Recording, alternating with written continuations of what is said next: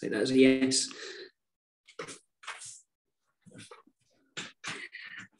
Okay, um, so welcome everybody to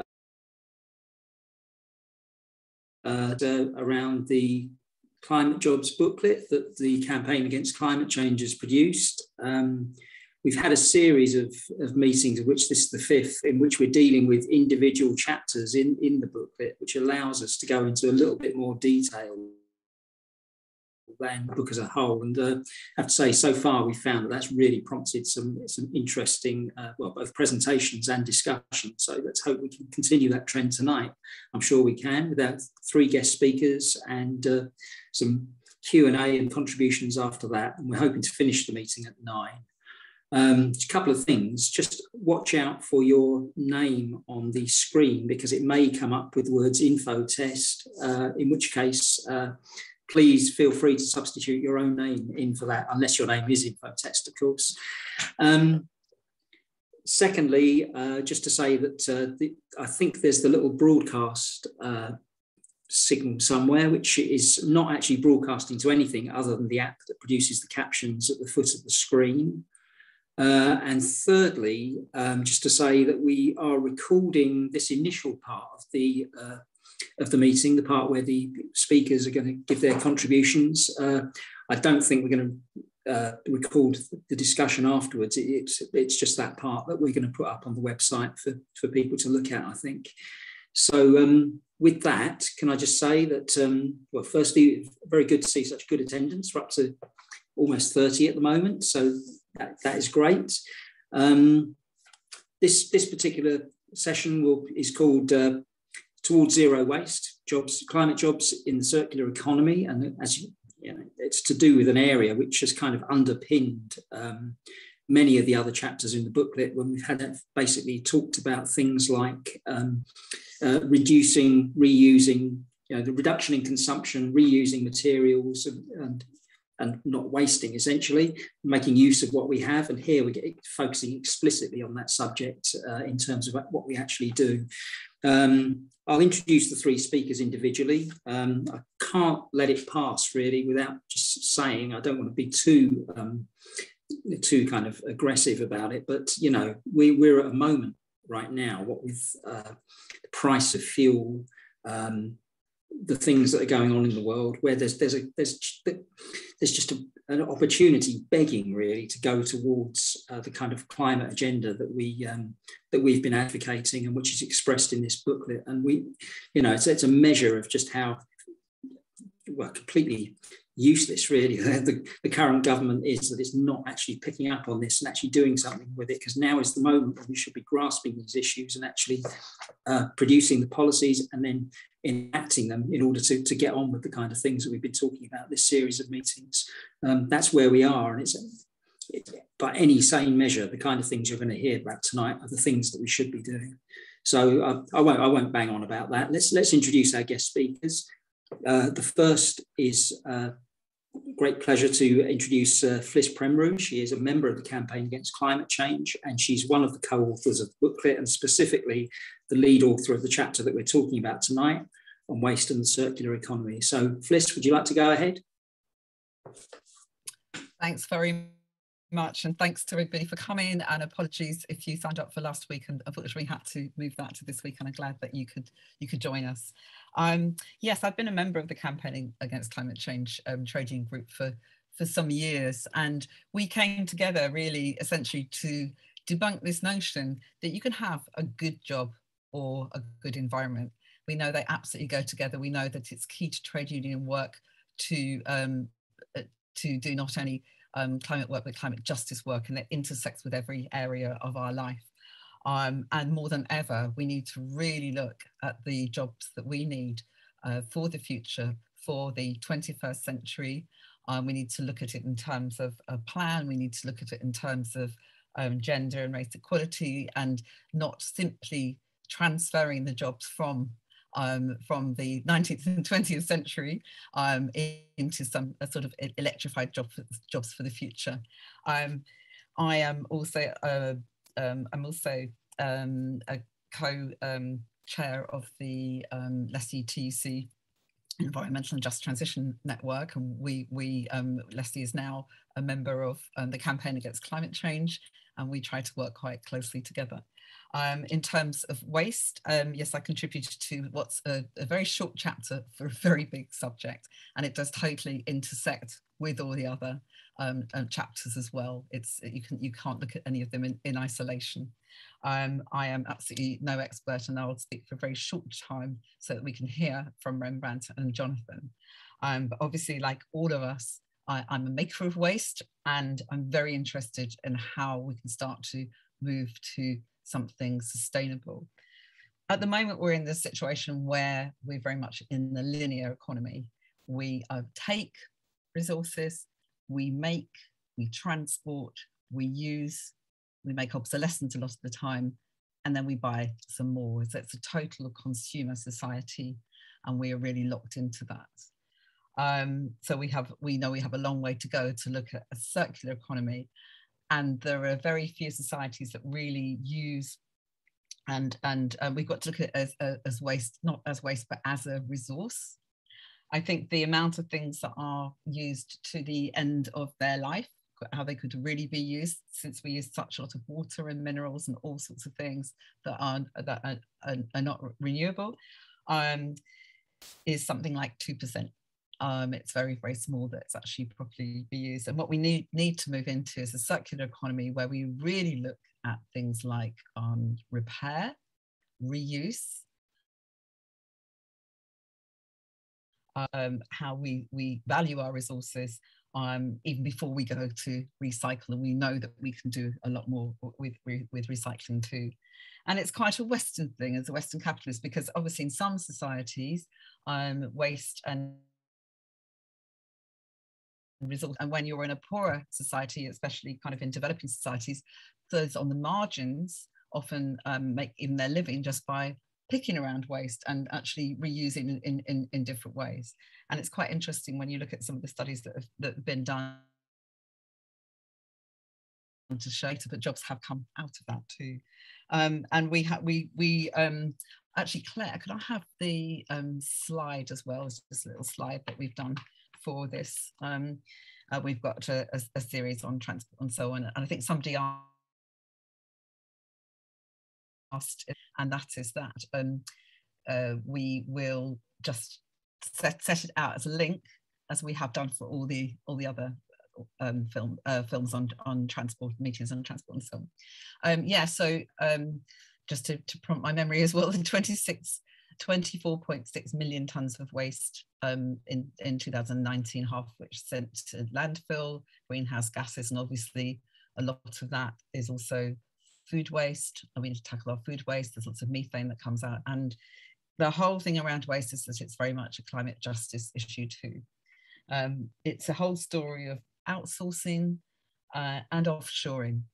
Um, and when we talk about climate jobs, we're really talking about the jobs that we need for the future, but we're talking about jobs that we see under the umbrella of a national climate service um, with a plan for each of the services and how they intersect so that you have good trade unionized jobs, um, safe jobs, and you really need safe jobs in, in waste and circular economy. It's a very risky business and it is under underrepresented in the trade union movement and um, there are actually apparently for example, more accidents in um, offshore wind than there are, are in offshore uh, offshore oil at the moment. So we need to really make sure that we are unionizing. And in terms of the circular economy, um, we need to look at what we do nationally, but also locally. I think there's so much scope locally. Um, you know, there's a there's a very different level of um, of recycling um, and reuse um, depending on where you are, even in the UK. And I'm sure we'll hear more about that from our speakers. Um, but very much um, we can look at the sorts of jobs that we we could create in that, and hopefully the sorts of jobs that we could create locally in a circular economy.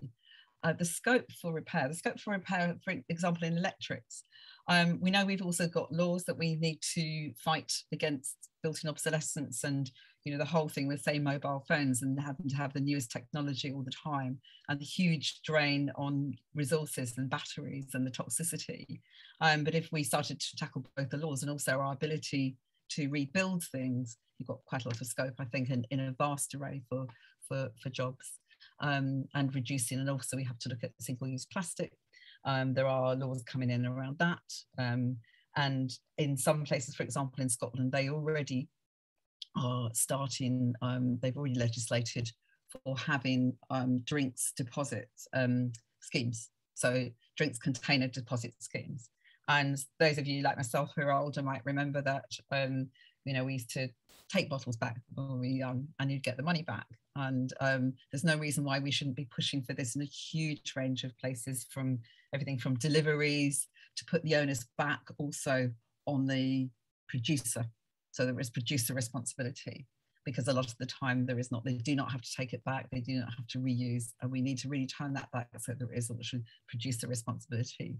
Um, and um, there's a huge scope for for things like rent um, as well. Um, back in the day, people used to uh, rent things like like TVs. Um, further back than that, um, for example, when there were early, when, when pneumatic tyres were quite a new thing, for example, with the buses in London, the buses used to actually rent the tyres for the company. So they'd maintain them and rent them. And okay, that's not the highest technology now, that was quite a new thing at the time, maybe in the 1920s. But there's also things like um, Rolls, Rolls-Royce um, aircraft engines, for example, that they um, will maintain and um, rent them according to, to use so that it's not um, there's people with particular um, expertise with, with parts. Um, so we need to really turn this down, turn this around, and think, well, what what sort of what sort of jobs could we have? What what could we create, and um, how can we go about that? That's that's a big question. I hope we'll come to that far more in our conversation later on. Um, but definitely looking at some models there's quite an interesting um, circular waste, a very interesting circular waste economy uh, example in, in Ljubljana in, in uh, Slovenia.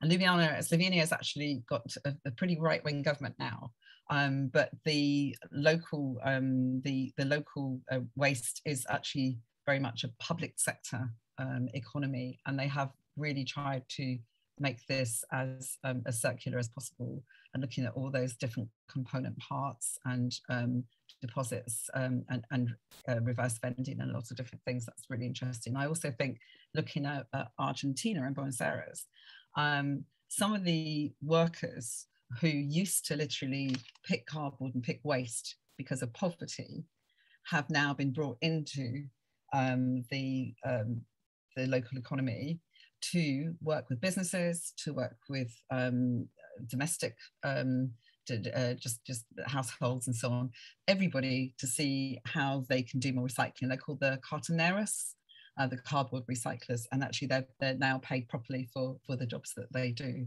So there's a vast array of things that, that we can we can look at. Um, I'm going to stop there and look forward to our discussion. We, we can bring some more items back in discussion. I'm going to hand over to, to hear. Thanks a lot. Okay, very good, Fliss. Um, thank you. Um, okay, well, let, us press on then. And uh, I'm very pleased to be able to introduce Rembrandt Koppelaar, who is a uh, who's the head of circular economy at EcoWise Limited, which is, I believe, an organisation um, that uh, provides kind of solutions for a circular economy. Uh, he has a PhD from imperial policy and published articles on uh, the future of energy and also uh, the role of technology as well in achieving a circular economy. So, uh, Rembrandt, please go ahead. Uh, thank you kindly Tahir. I'm much appreciated to, to be here this evening. And next, I hope. Um, there are three, three aspects that uh, I would like to address. And the first one, uh, it's kind of obvious since you're all here, but a circular economy is really a jobs economy. Um, and the way that we can think think about active waste is if you look at what ha currently happens with our waste is that about uh, if you, the traditional way of disposing it, so landfill or uh, energy from waste incineration, if you start recycling that waste, you provide a, up to a factor 10 more jobs. Um, so you go from one job to 10 jobs. You have the same type of waste, but you don't burn it or landfill it, you recycle it. If you start then to focus on really repair and reuse, uh, that's really a factor 100 more jobs. So you can get that order of magnitude of jobs if you are able to, um, instead of shredding your furniture, shredding your washing machines. This is literally what happens in many cases, uh, also in, in recycling. Um, so you start to reuse, you extend the lifespan, um, and there's repair involved, there is a lot of logistics involved, there's warehouse management involved, there are jobs involved in quality conditions testing. Um, and if you put all of that together, uh, you can say that a future where we have, we maximize reuse, we can get up to maybe one in 30 jobs, especially if you also include construction and demolition, would be related to reuse in a broad sense, which also includes manufacturing of spare parts and replacement parts. Uh, uh, upcycling or local creative jobs to make uh, old items into new ones that are looking even better or even nicer to, to have in your home, uh, unique items, uh, all kinds of jobs uh, that are possible around this. So that's the, the good news in, in a way uh, for locally, if we're talking about jobs and, and meaningful jobs, many of them. Um, the challenge is that why does this not happen? And this has in my view, is related to that waste. The issue of waste is really linked to as many issues to a lot of social injustices that are currently existing in society. Um, and there are three I want to highlight. Um, and that is, uh, one is really the core area of this is around wealth distribution. Uh, a lot of the efforts that you need to do to create a, um, say, to refurbish or upholster a chair, that currently happens, but it happens with old, uh, fairly old antique chairs, and they're expensive once they're upholstered. There's a market for that in England. Uh, this happens uh, with uh, in a, on a very small scale with uh, some electronic items. This happens at a at a larger scale for clothing, but people don't purchase necessarily those clothes uh, at a large scale. Most of the clothes that are going for reuse are exported from England. So there, and a large part of this is related to not having enough uh, wealth for people, I think, in my view, uh, to be able to purchase and also to be able to kickstart that system. So if you're going to be able to buy a, a, a new set of clothes that is much more affordable, you're not more likely going to go for uh, goods that are uh, five times the cost uh, that may have been repaired, reused, and so on. I'm of course simplifying here. A second part, and this is where is a big social injustice, is that there's a lot of furniture poverty. We're talking about the cost of living crisis. Before the cost of living crisis, uh, there's a, a, campaign and an associated charity. They're doing a lot of uh, good work. It's called End Furniture Poverty couldn't be more, more clear than that. And what they're advocating for is to have uh, be able for all people in the UK to access the furniture they need. And what they mean with furniture poverty in a definition is that you're unable to access or afford to buy, maintain a household furniture appliance that is essential to achieve a socially acceptable standard of living. So you don't have a washing machine. So you have to go to the laundrette um, you don't have uh, access to the couch that you need, um, or your your appliance breaks and you don't have the money to buy a new one. And they estimated about five million people in the country miss at least one appliance. Um, and so this is a big issue uh, that can be resolved partially uh, by the circular economy, hopefully, with uh, in terms of making it possible to have more access to uh, appliances and to furniture. Another social injustice that's related to this is that at the moment, and this relates also to wealth distribution, we destroy annually millions of goods that are unsold. Yeah? Uh, it's not just Amazon, this is standard practice. So we have people who don't have access, and because of the way that wealth is distributed, uh, we uh, and the government doesn't have laws that prevent this at the moment. There's a lot of goods that are uh, destroyed. So this is also intrinsically linked with, in that sense, with social injustices. That on the one hand, people need things, and the other hand, we destroy them. Um, and then also at the, the global level, of course, with uh, extractivism and uh, uh, imports um, dumping. This is a broader topic that maybe in the discussion we can hopefully touch upon, but global supply chain networks. Now, the third point I want to make is that the key enablers for repair and reuse jobs are both local and national government.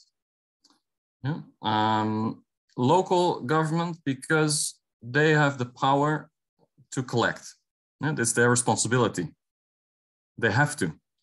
But also, what less people know is they have the power to provide access. So if you provide something uh, to the local government that goes to a, a reuse and recycling center or skip, or uh, in uh, where the collection banks are, uh, so the collection points are decided, but also whether the charity can have access to furniture that's donated to them or can have access to electronics. And often in that network, there's limited attention for reuse and repair. It's, it's growing, but it's not high on the priority of the agenda because there are no targets. There are target. We reuse two to 3% of, of what's uh, collected um, and uh, so uh, there's a lot of potential items that instead of shredding them, we could look at repairing and reuse them.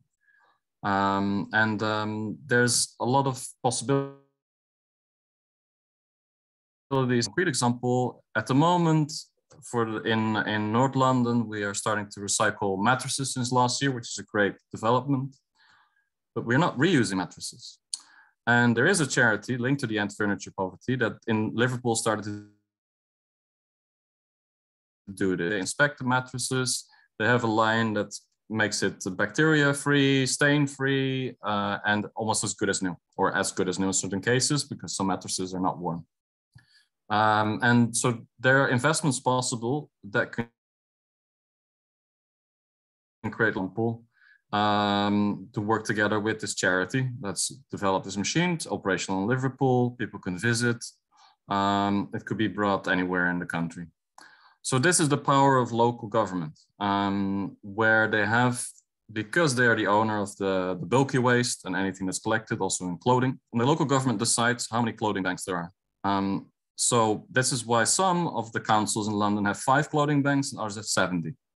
Yeah, that's their decision to whether they allow charities to, to have clothing banks in public spaces and where Of course, there's planning regulations, and, and so you can't just place them everywhere, and it's a bit more complicated. But in general, there shouldn't be a difference between one council and the other in London in terms of infrastructure access, uh, at least from an outsider perspective.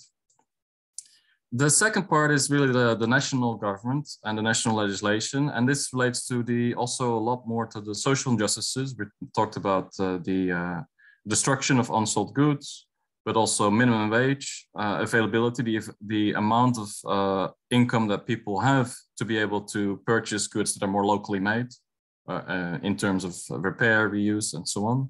And also uh, legislation that helps with making it easier for companies to have either a level playing field so that they have to provide, say, a repair index uh, have to provide repair information and that all companies have to do that. Um, so there are initiatives to repair labels um, that show when you buy something how easy it is to repair it. And most people will then want to probably buy something that's more easy to repair. Not everyone, but and that will drive these kind of jobs as well. So there's a lot of requirements that need to be put in place uh, that we don't have both locally and that can be actioned and nationally that's the third point is the, is the key driving force uh, in the near term future to make these jobs possible. Um, that's my time. So thank you so much. Yes, thank, thank you so much, Rembrandt. That's really interesting and, and within time as well. You saved me the effort there. Um, but I'm sure we'll be coming back to this because that was a, such a, such an interesting uh, contribution. I think it's a measure of how interesting a contribution is if people start tapping in, in the chat boxes because it, you've got them thinking about stuff. So hopefully we'll hear from them when we come to the, the discussion. Uh, okay, so our final speaker tonight then is, is Jonathan Essex. So I'm very glad to be able to introduce uh, Jonathan. I worked with Jonathan on production of the uh, booklet about the Green New Deal for Gatwick, which uh, we were very pleased with. Um, Jonathan is a member of the Green House think tank. He's also a Green Party councillor uh, in Crawley, I think, uh, or around the, the Gatwick area. Uh, and he's also a trustee of Furniture, a local furniture reuse company. So picking up on exactly the points that, uh, that Rembrandt has just made. Uh, so Jonathan, would you like to go ahead? Yeah, no problem. Just one question. Am I allowed to share my screen? Have I got permission to share a screen? I'll make you that post and then um, that should be fine, I think. Okay, thank you. Have a go. Right.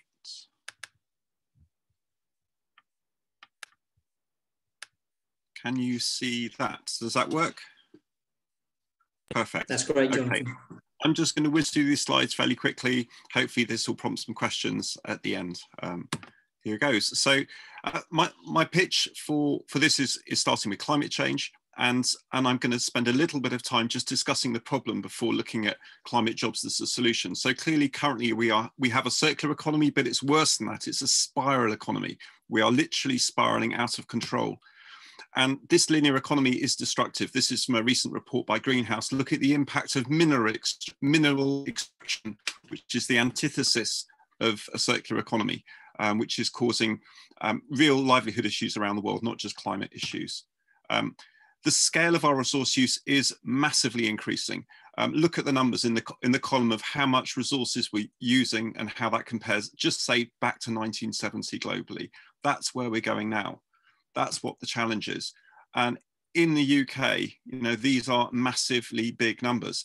And the challenge we have is the stuff we're using now, which is not circular, not climate jobs. Um, you know, the ones I've highlighted there are, are, we're making things that you cannot make in a zero carbon way, and we're using lots of it. So the climate jobs aspect is not just dealing with the waste which we've got, or making a uh, you know a, step-by-step change on or incremental change of what we are now we need to transform our relationship with stuff and the sort of materials we use and how much we use of them um, uh, this is a, a very simple graph. Um, basically what we do is is we start by using sustainable materials and we get to a point where um, we start thinking well there's not enough renewable energy around. At some point in the past we stopped using wind uh, and, and uh, timber in a sustainable manner and started getting stuff out of the ground. Uh, and that's the real challenge. And then we start to increase how much unsustainable stuff we use to the point where we are literally outside of what's socially and environmentally acceptable.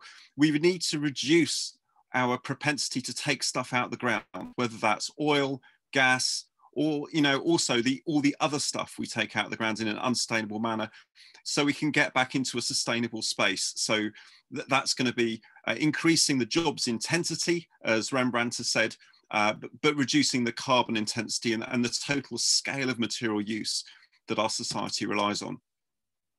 Uh, materials uh, sit in the, the hard to decarbonize sector. This is from a, you know, there's, there's big challenges here because we um, continue to use this stuff and, and, and it's difficult. Um, we can't just look at uh, reuse and recycling as the reuse and recycling of business as usual. We need to transform our whole economy and see just what we do um, with the waste that comes out the end. So, so our challenge is, is that as well as thinking about um, waste, we need to look at sustainable choices of what we use in the first place. Um, and, and that's about, you know, the stuff coming back into play rather than us needing so much to reduce the scale of what we use. Um, so that's that's just a simple diagram saying that we use more and more each year. Um, that's the economics version, and that's the climate version. Um, currently, we use more and more energy to have more and more stuff, so we build more and more stuff, which is more and more um, consumables of every kind. So we are live in a globalized world. We ship stuff around the world in massive quantities. We fly stuff around the world in massive quantities. And if you just look at t-shirts and fashion, 6.6% um, of our fashion is flown around the world. That has massive carbon impact. And this is a linear process. In the news recently, how this fast fashion is ending up being dumped in, in Africa and so forth. So creating climate jobs, relocalizing our economy back to the UK is challenging some these assumptions. It, it's moving away from a business as usual globalizing economy and, and consciously in a planned way, relocalizing economies, creating jobs in the process. Um, we need to talk about scale. I like this cartoon. Um, I think it sums up where we need to go. Um, so we're talking about snail jobs here. Uh, and snails um, are, are, smaller than elephants and move in different ways. So you, you might think about scale and, and, and the idea of local jobs starting with small is beautiful, uh, but I think it's realized in action by an excellent book.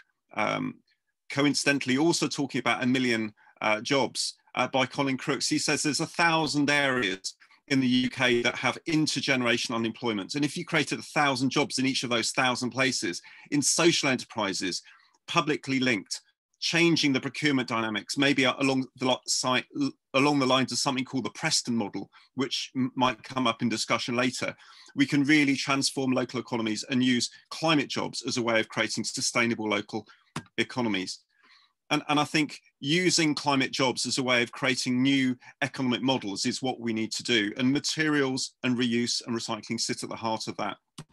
Um, as, as Tahir mentioned, I've been doing a little bit of work with him and others looking at what those local job plans might be, uh, initially around airports in the last couple of years, because that's where jobs have been lost, um, but more recently in Cumbria. And, and, that's, that's looking at how you know, we have material jobs um, proposed in a coal mine, uh, and instead um, reuse and recycling and circular economy jobs are part of a different economic model that can replace it. Um, in terms of the reuse and recycling repair, I'm just going to whiz through these quite quickly. Uh, we looked at the household recycling rate now. We said, what if that was best practice in Europe? Um, that would gain a thousand jobs. On top of that, you could create jobs creating a more circular economy, which might be directly involving materials, but might be moving away from that. So it could be things like setting up, um, for example, more laundry services locally.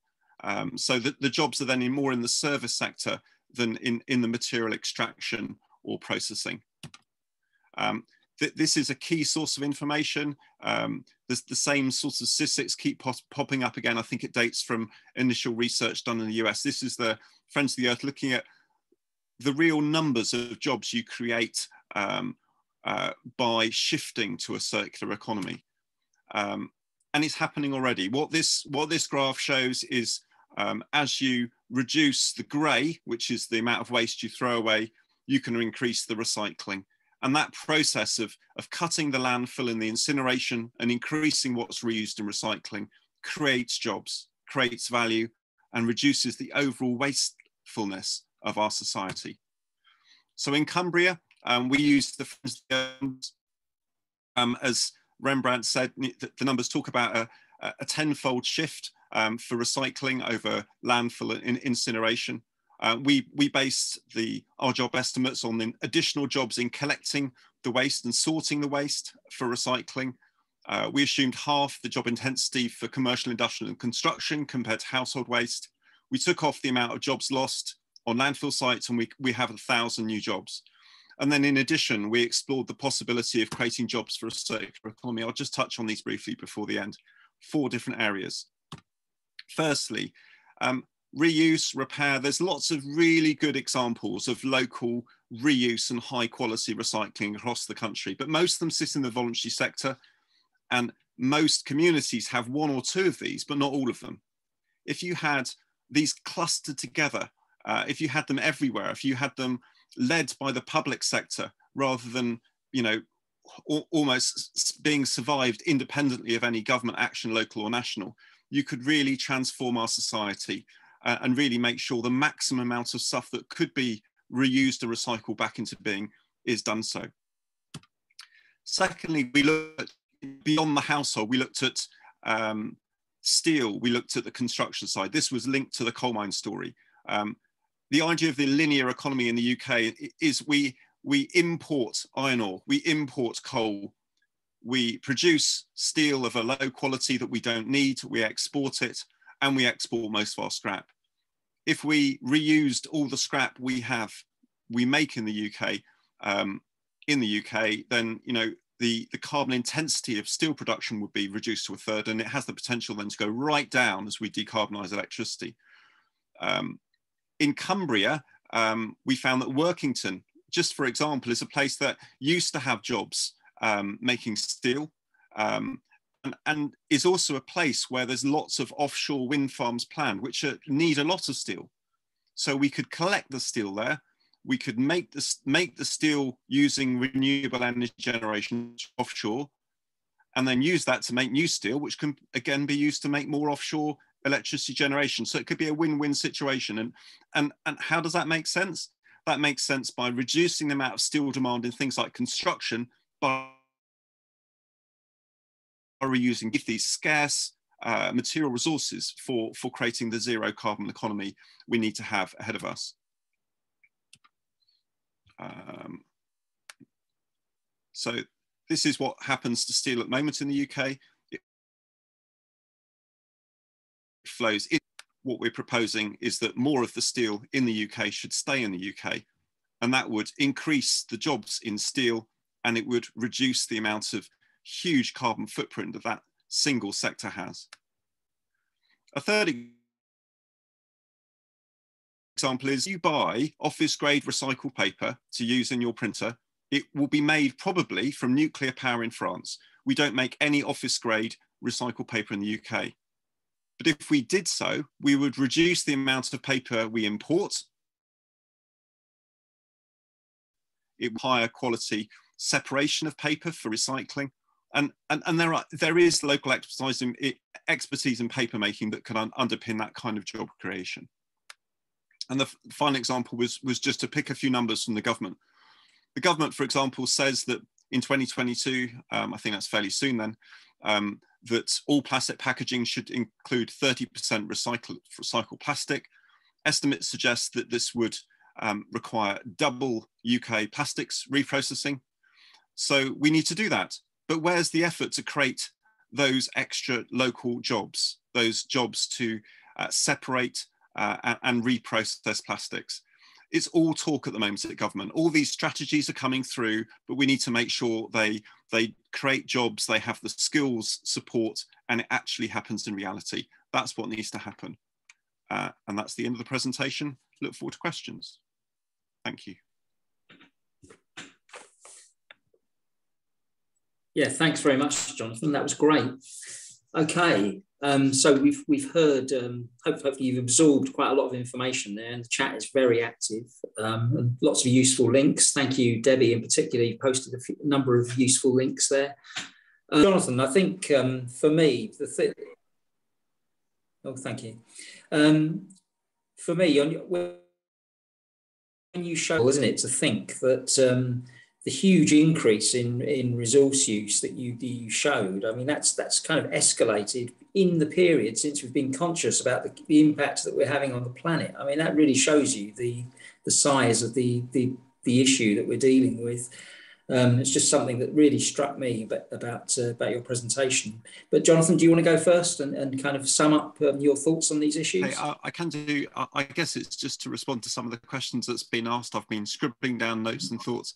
Um, your, your, general point, point there to here, I, I would summarize as it's easy to think of climate change as a challenge of energy, but roughly half the energy, or sorry, roughly half the climate emissions in the world are climate emissions that come about by creating what we build with and what we buy. So we can't deal with mm. climate change looking only at the energy used in cars, in buildings, and in electricity. We need to look at the energy and the carbon emissions going into what we make. Um, just picking up a couple of comments on the chat. Demolition, I think, you know, we need to value embodied carbon um, in, in what we make, the, and also the embodied workmanship, the, in, the, the, jobs that are captured in, you know, in, in what we make. Um, uh, steel and concrete, um, question in the chat, can we make the same things from electric arcs as we can from blast furnaces? Well, yes, but we need to make sure steel isn't contaminated, particularly with copper. So that means we need to separate scrap. So you can't just crush a car and stick it in an electric arc furnace. You need to take the motor with its copper windings out separately, so you don't up the copper level in the in the steel. Um, but why are we using so much steel and concrete in the first place? Well, we're a developed country. Well, we shouldn't need quite so much building material, should we? We, we really need to shift to the, the, the reuse, the circular economy in the big things like buildings as well as in what we put out on our household rubbish and and that means that you know i th think that someone talks about tax and and and is it too much about tax? Well, I say we're ta currently taxing the wrong things. In the UK, currently have zero VAT on new build housing, but full VAT on refurbishment. Sweden is one country that's cut VAT on repairs. If we're going to deal with climate change, we need a carbon tax. And if you apply that to making stuff, that will mean carbon import duties on products which have high carbon intensities from overseas. So, you know, what to what to mainstream change? Well, I think we need culture change, we need compliance, but ultimately we need government to create a new framework for action. Local councils have a key role to play, but local councils' ability to finance things has been cut substantially by money taken away from them by central government since 2010. Um, and I'm just going to end, if I may, just responding to points made by Wolfgang in particular, challenging us as to whether this means ending capitalism, and Jennifer saying, how does this work economically? And beyond the, the, the taxing the right things, not the wrong things, I, I, would say that we need to shift from a capitalism um, that is globalizing to smaller local economies with shorter supply chains. So our use of resources is a local circular economy, not a global circular economy. It must be an end to growth in the scale of material and energy use. And a spoiler alert, a lot of the talk of circular economy is linked to an idea called green growth, which is the idea that we can carry on uh, making our economy bigger and bigger. Uh, and quite often people talk about the circular economy at the same time, talk about taking more oil and gas out of the ground, opening up more quarries, um, both in the UK and for scarce materials around the world. The wage share of the economy is still falling in the UK. More of our economy is in um, uh, shares and in ownership. Um, the reason why buildings are demolished is often pure speculation. It's a housing market. We need to make sure the circular economy makes a sensible amount of money for everyone and, and concentrate that wealth in the income that people take, take home with them, which is about jobs. And if you want a, a quick thought of, of, of where economy and, and capitalism links to this at the end, I would say um, think about Tim Jackson, what he's written. 10 years or so ago, he wrote Prosperity Without Growth. But last year, his book was called Post Growth, but it was subtitled Life After Capitalism.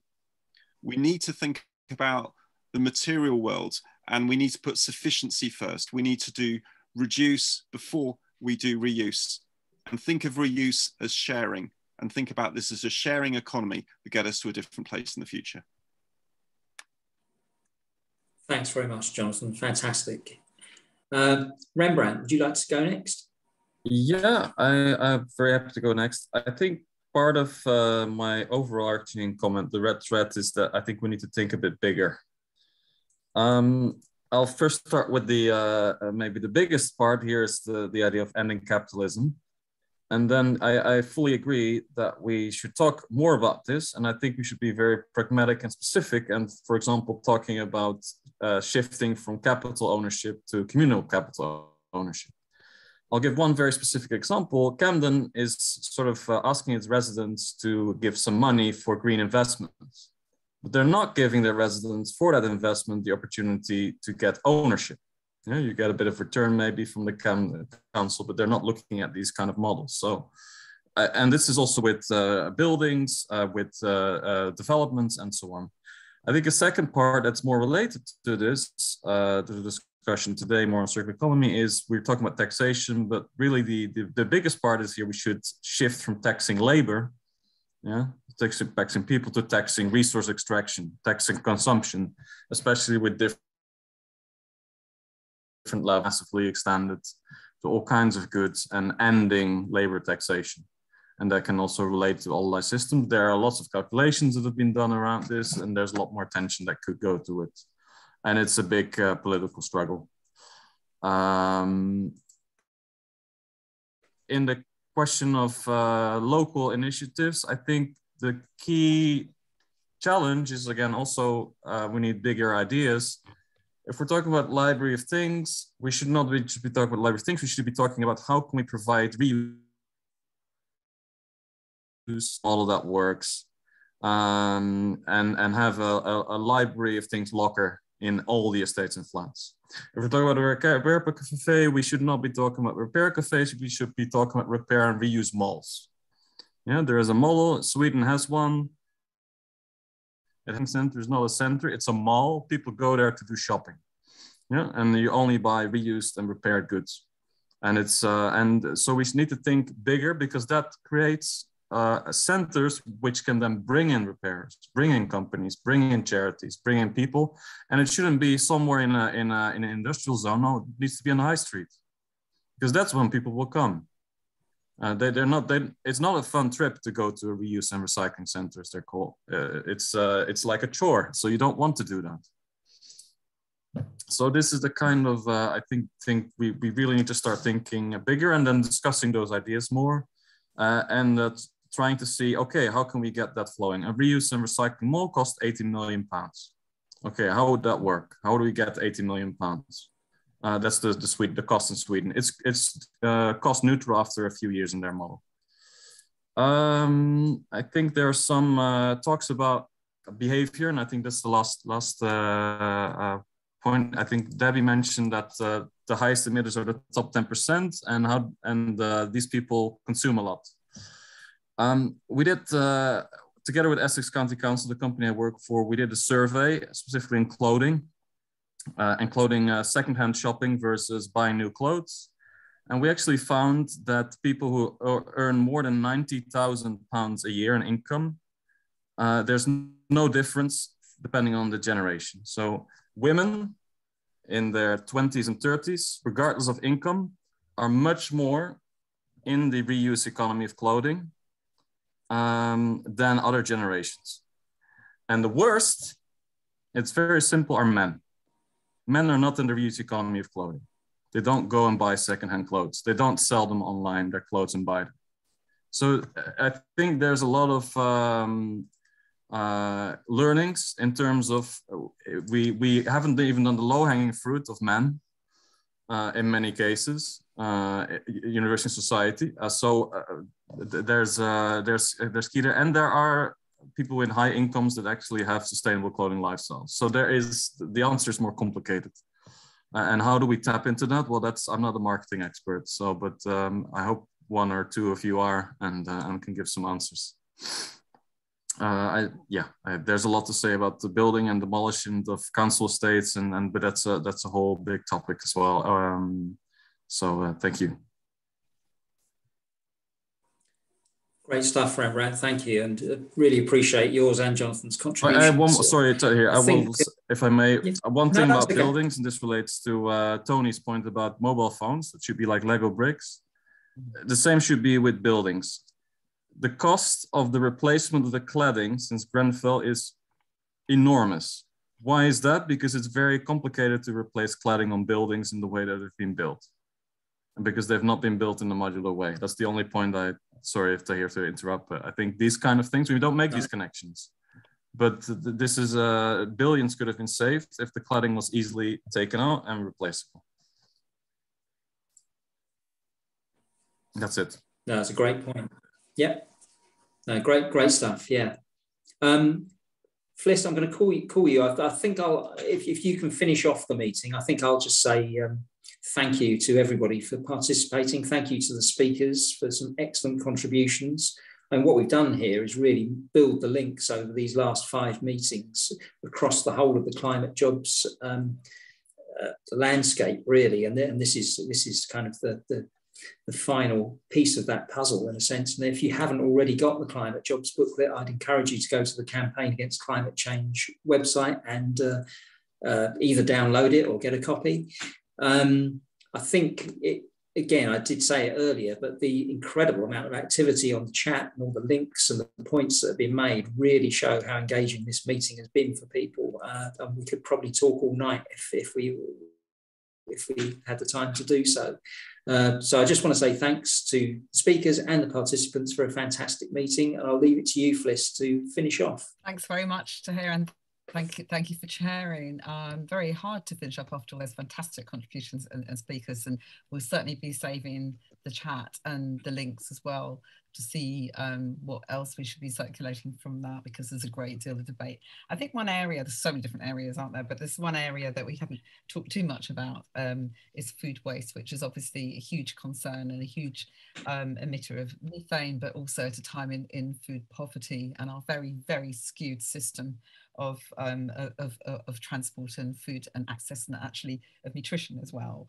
Um, it's quite it's uh, i was thinking about that in, in context to food poverty and i'm very pleased to say that actually um, hackney my local borough is just becoming a right to food town um, it's a campaign that was started um, by um, in Liverpool and very much with the football team about food being a right, not a charity. You know, sort of cutting away from the idea of the food banks. Um, food banks are very, very important, but how do we really get this on the agenda, the governmental agenda, to say that we have a right to housing, you have to right to breathe fresh air, and clean and drink clean water, but also uh, uh, right, right to food. I think that gives us also, um, as we build that up, more scope for looking at things like um, that that changing culture that we were talking about and, and that interesting comment from um, I think it was from Tony about um, maybe in, in some social housing before where having you had you know communal laundries and maybe we can look more at um, in some not just food growing communal food growing um, and to cut the you know cut the carbon and the um, transport to also look at our land use, which is a whole nother topic, you know, and uh, and everything that does destroy from gentrification to um, to, uh, to, to grouse and golf courses. Um, but to you know that's a whole other subject. But kind of food waste too, and maybe part of that is the change in the culture. And I think also we can we can see that um, although we are very much um, a, a buy and throw away culture, we have to keep turning back that responsibility to the producer. We mentioned and discussed that that the um, the consumers, especially the poor consumers, are not clobbered, but the producer really who's making the mess in the first place or is not taking responsibility is taking the brunt of that and taking the brunt of, of the change too. But also in some cases, you know, you know, very much been brought up in a culture of wanting the latest phone trainers, whatever it is. Also, a lot of them are, are now embracing the idea uh, that Rembrandt was talking about of of recycling, of reusing clothes, of sharing clothes, of actually having, you know, having maybe more of a wardrobe, but you can, you know, you can actually exchange it as well. So it's not an, an understanding that link to the very cruel um, chain of the clothing market too, and what that does globally and how workers are treated. I think we have to absolutely look at solidarity with our workers too, absolutely look at um, the people that are keeping us going, the people that are producing, the, the waste workers um, who have a very, very hard task and who know that we could do things better as well. So I would say as a trade unionist, join every, um, every demo, every, um, every strike to support um, and, and um, let's see about how we start to create that much bigger circular economy, as we were saying, not, not small startups, but something that we build into our lives to make it easy for people. Um, and I would encourage you, as Tahir said, to um, sign up to the campaign against climate change. We've got a trade union you, trade union group, Google group too. I don't know whether we put that in the chat. I will do. And thank you very much for coming to the meeting. And uh, we look forward to future meetings and also um, do look at the site if you want to check what's what's gone before. Thanks a lot.